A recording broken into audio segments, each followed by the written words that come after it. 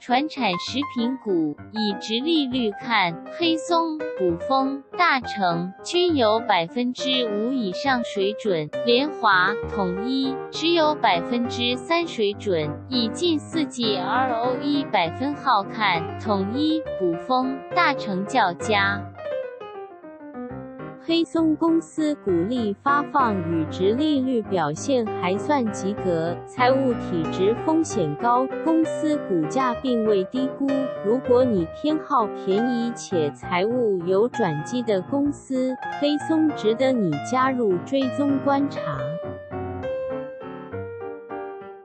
古风整体财务体质表现算及格，近期业绩成长表现不好，股价并未低估。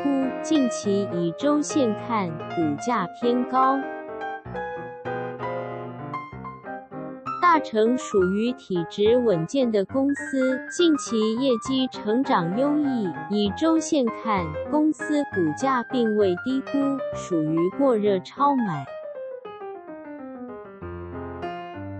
黑松直利率自二零一三年起约四到百分之五，卜蜂直利率不借二零一五年约四到百分之五，大成直利率不借二零一四年约四到百分之五，统一直利率不借二零一八年约三到百分之四，联华直利率约七到百分之八。从直利率看，联华直利率比较高。公司股利发放与值利率表现还算及格，近期成长表现还算及格，公司股价并未低估，可算绩优股。